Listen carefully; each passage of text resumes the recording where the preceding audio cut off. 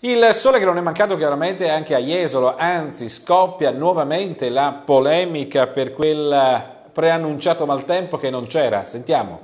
Torna la bella stagione e tornano le polemiche sul litorale. Ancora una volta nel mirino sono finite le previsioni meteo, che per sabato avevano indicato una giornata di possibile maltempo, almeno seguendo quanto dichiaravano alcuni siti specializzati.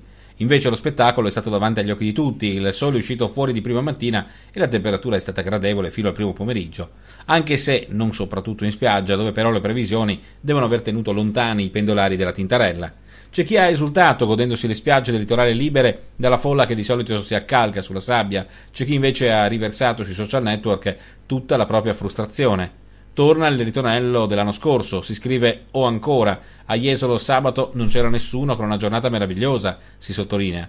Già 12 mesi fa lo stesso presidente del Veneto, Luca Zaia, aveva annunciato l'intenzione di denunciare i portali meteo su, al, al grido di sul Veneto metteteci una macchia nera, non mi interessa. Di fatto il conflitto continuo tra previsioni meteo sbagliate e operatori commerciali che il giorno seguente recriminano è destinato a continuare anche durante la prossima estate, sperando che Jesolo, Caorle, Bibione, Eraclea e Sottomarina non debbano fare i conti con un'estate piovosa come l'anno scorso. Fu pioggia e freddo, vero però.